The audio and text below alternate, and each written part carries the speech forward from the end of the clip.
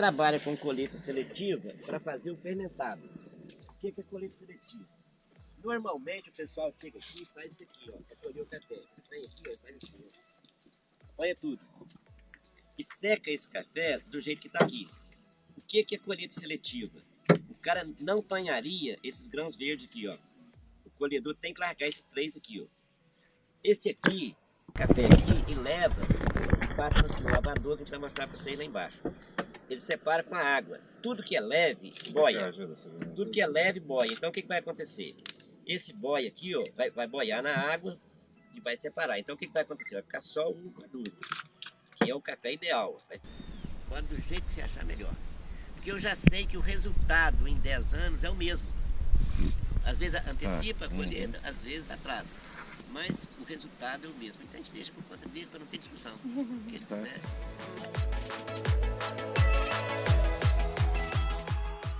Então o que, que a gente faz? A gente deixa o mato crescer e, e, ele não tira quase nada da terra.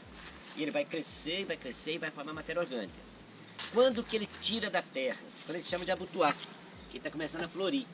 Esse mato aqui, agora, tá, agora para frente, ele vai tirar da terra, que é para é, germinar, para crescer a semente que está aqui dentro e ela granar, ela encher a semente. É o momento que ele tira tudo da terra.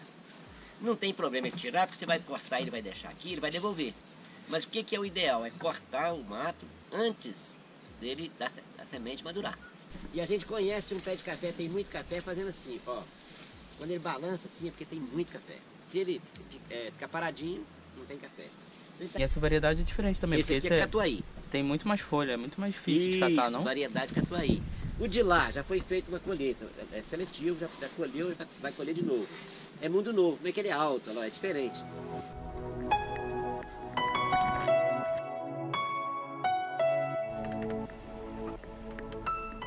Nosso processo ele é só ceder cereja descascada, porque a gente só tira a casca e deixa o mel. Não tem um melzinho ali entre, a, entre uma casca e outra?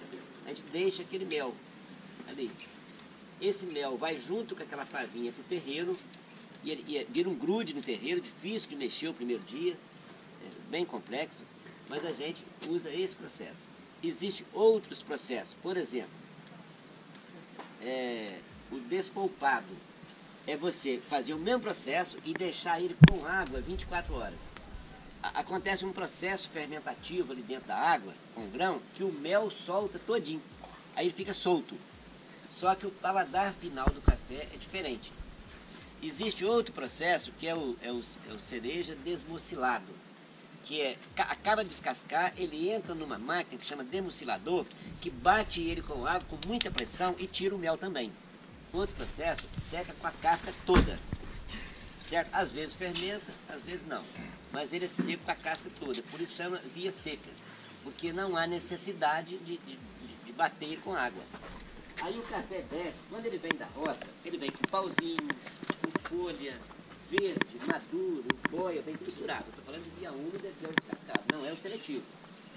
Aí, como ele vem todo misturado, ele passa primeiro naquela primeira máquina lá, tem um aspirador que você regula ela e ele puxa tudo que é leve. Folha, pauzinho, grão, que não tem nada dentro do grão, ele está morto, não tem nada, ele é leve. Né? Aí sai com casca. Aí vem por essa, esse negócio preto ali e cai numa carreta que fica aqui. A sujeira. Embaixo tem uma peneirinha que fica balançando também, que é aqueles é, terra, se vier alguma terra, alguma coisa menor, ela vaza ali. Então nós fizemos uma pré-limpeza. Aquela máquina chama pré-limpeza.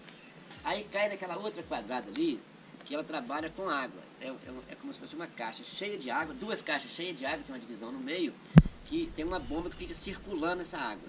Aí o café vem, ainda todo misturado, cai ali, quando chega ali, ele separa por peso. O que é pesado afunda, o que é leve passa por cima. Então o boia, o passa, o mal granado, o xoxo, ele passa por cima e vai para lado de lá. O que é o maduro e o verde, que tem o mesmo peso, vem juntos para lado de cá. Então já fizemos a primeira separação do boia, do pássaro.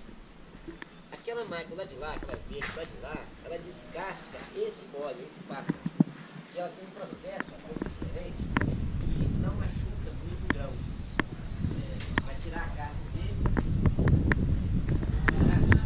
passar esse baixo esfregando, que vai tirar aquela primeira casca, mesmo ele tendo passado da hora de descascar, e vai cair do lado de lá. É o que a gente chama de BD, boia descascada. Ele passou da hora de colher, ele é boia, mas foi descascado. Do lado de cá, vai cair o maduro, junto com o verde. E todos dois, a outra coisa, lá em cima, a separação não é por cor, é por peso, que é na água.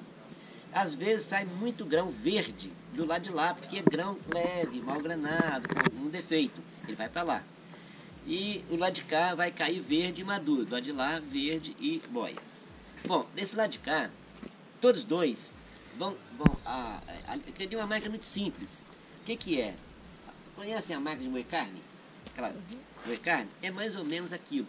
Só que do lado ali da máquina é tudo furadinho, umas peneirinhas furadinhas. O que, que acontece?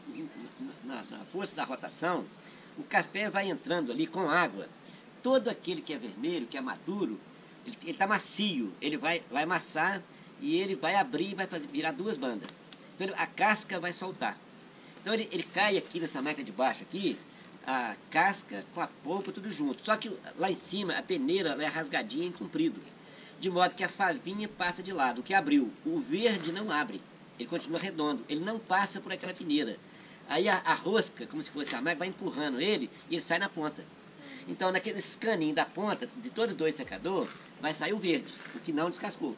E o maduro vai cair aqui embaixo com a casca junto. Aquela máquina de baixo ali chama tirador de casca. O café vai rodando ali com, com água e tem umas, umas garrazinhas que vai, vai puxando a casca, umas garrazinhas pequenininhas uma gretinha pequenininha. Ele vai puxando a casca, a fava passa e a casca é tirada para cá. A casca cai aqui embaixo, sobe aqui e cai na carreira. Aí nós terminamos a separação. Porque o verde foi para um lado, o descascado boia foi para lá, o maduro foi para cá. Aí o que, que você faz com boia? O boia separa todos os lotes porque ele pode ser muito bom, eu falei, mas pode ser muito ruim. Então esse é o processo via 1. Esse café sai daqui, vai ser espalhado nesse terreiro. Só que nossa área é muito pequena para o volume que a gente colhe. Então eu preciso levar esse café para o terreiro, torcer para dar sol, para enxugar ele rápido, porque amanhã está entrando mais café. Então eu tenho que levar ele para lá, enxugar ele, usar mais ou menos a metade do terreiro. Amanhã eu vou usar a outra metade e vou pegar aquele que estava no terreiro e vai para o secador que é processo via seca? É o seguinte, o café, a gente colhe o café, aí é outra história agora, a gente colhe o café seletivo lá na roça, só o maduro, traz para cá, passa aqui em cima, só na parte de cima para tirar a impureza e separar o boia. Só que ele vem por esse cano, gente fecha uma tampinha ali, ele vem por esse cano grosso aqui e cai direto lá no terreiro, não passa pelo maquinário de descascar, que ele vai ficar com a casca. Aí cai aqui embaixo, aí traz para aqui e as meninas vão catar algum grão verde que vem no meio aqui temos grãos verdes, elas vão catar, que vem algum verde, elas vão catar isso tudo com a mão. É um trabalhão danado. Fica duas, três mulheres aqui catando o dia inteiro. Esse aqui, terminado a catação, aí ele vai para a caixa de fermentação. Esse aqui é o via seca. Agora vamos aqui para vocês conhecerem.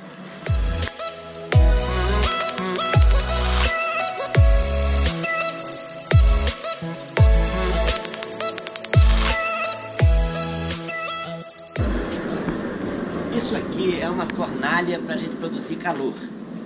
Como é que funciona isso aqui? Ali tem uma moega, chama de moega, um depósito de palha, palha de café, a gente queima a casca do café, palha é casca, enche isso aqui de casca e aquela, ali tem uma rosca sem fim no fundo que traz a, a, a palha, joga aqui dentro, a gente põe o fogo de baixo e essa palha ela vem devagarinho, ela vai queimando, gerando calor e vai aquecendo esse bojo aqui. Vai ficar muito quente. Aqui tem uma turbina que pega esse ar quente e pressiona esse ar para cá. Esse ar vai num, num, duto aqui de 40 centímetros por 40 centímetros, debaixo do chão. Depois ele é encaminhado para lá, para aquele lado de lá e para esse lado de cá. E a gente forma aqui uma caixa de ar. Quando eu quero secar esta caixa aqui, eu venho aqui, levanto essa tampa, vai abrir uma, aqui um espaço de 40 por 40, que aí o ar vai ser produzido para aqui.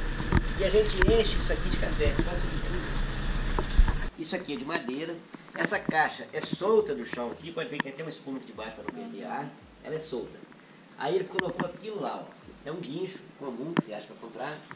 Pegou aquele guincho botou um cabo de aço, cada caixa é amarrado um cabo de aço aqui debaixo. Então o que, que ele faz? Pega aquele cabo de aço, engata aqui, liga aquele guincho, ele vai enrolando lá em cima e vai levantar essa caixa. Ela, lá, lá na frente tem uma dobradiça que ela vai levantar, ficar fixa no chão lá embaixo, mas vai levantar, vai girar, essa, essa parte aqui vai lá no telhado e ela vai ficar em pé aqui. Esse café vai cair todo na frente. Cada caixa dessa tem uma janelinha, que a gente abre a janelinha lá, lá na ponta. Esse café vai cair ali no meio. Por isso que o ar fica de um lado e de outro, porque no meio a gente não podia usar. No meio ali, que esse café vai caindo, tem um negócio que chama rosca sem fim. Que ela vai rodando e vai levando o café. Ela vai pegar o café de qualquer caixa dessa, que estiver usando, vai jogar no pé daquele elevador, que tubo amarelo chama elevador. Ali tem as caçambinhas que vai levar o café lá em cima e ele vai voltar por aquele cano ali. E aquele cano ali é flexível, lá em cima. Eu levo aquele cano para a caixa que eu quiser. Então, se eu quero virar essa caixa aqui, vou virar aquele cano para onde eu quero colocar o café, para a caixa que eu quero colocar o café, vou levantar isso aqui, vou entornar e vou levar o café para aquela caixa de lá. O que, que acontece quando a gente faz esse processo?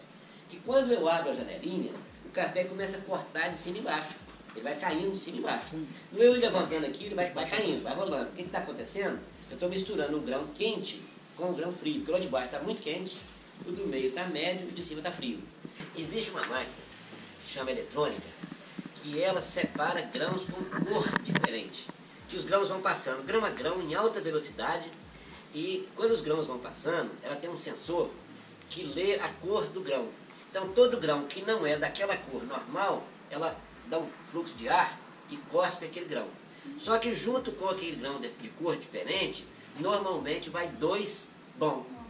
Então, não, ela não é econômica, ela, tem, ela rende muito, porque as indústrias todas, as empresas todas trabalham com ela por causa de volume. Mas ela é antieconômica, porque você está jogando muito grão bom no meio do ruim. Aí o Johnny inventou um negócio que é uma esteira, que as pessoas catam a dedo. É onde o café vai passando e as pessoas ficam do lado catando os defeitos a dedo. Aí a gente cata só o defeito, a gente não perde nenhum grão, que é de qualidade boa. Dentro de cada caixa dessa, a gente cata o café, seleciona 100% maduro, enche essa caixa. Cada caixa dessa, ela tem um sensor dentro dela, que mede temperatura, só temperatura. Antes a gente queria medir um monte de coisa, hoje trabalha só com temperatura. Esse sensor está medindo a temperatura de cada caixa, cada caixa identificada, e está jogando essa temperatura para aquele equipamento. Aquele equipamento joga para a internet e joga para o celular. E a gente acha assim que a gente está pertinho de dominar essa técnica. Mas por que não dominou ainda? Porque existe variável demais. E pode aparecer uma variável e não está contando com ela. Mas qual variável? Por exemplo, é, o estágio de maturação do café faz a fermentação ser diferente. Se choveu nos dias anteriores da colheita, faz ficar diferente. A época do ano, já descobrimos. Cada época, por exemplo, começou agora em maio, é um tipo de fermentação. Quando chegar em setembro, outubro, é outra muito diferente. Então a gente tem que ir dominando isso aos poucos. Quantos dias fica aqui? Até enxugar só. Ah. A gente vai por um dia, dois dias. Ah.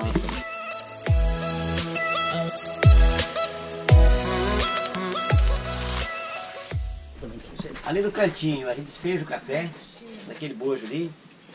Essa esteira tem do lado aí, está até, tá até fechado. Não, está aberto. Tem uma chave aí que regula a velocidade dessa esteira. Ela anda na velocidade que a gente quiser. Ela anda devagarinho, ela chega até parar. O café vai saindo naquela gretinha lá, mais ou menos grão a grão. Depois limpinho, já está a última vez que a gente põe a mão nele. Aí ele vai passando lá e vem, essa esteira vai trazendo para cá. Aqui ele já vai cair dentro do saco. E as meninas ficam do lado aqui, tirando todo o defeito. A gente fala que o nosso café é zero de defeito. O que, que é defeito? Grão quebrado, xoxo, manchado. Então a gente tira todos os defeitos e vai passando aqui, cai no saco. Aí é que vai para aquele saquinho ali que vai entregar para o cliente. Gente, valeu! Era isso que a gente tinha. Obrigado vocês. Obrigado. Agora vamos passar na cafeteria para tomar o café.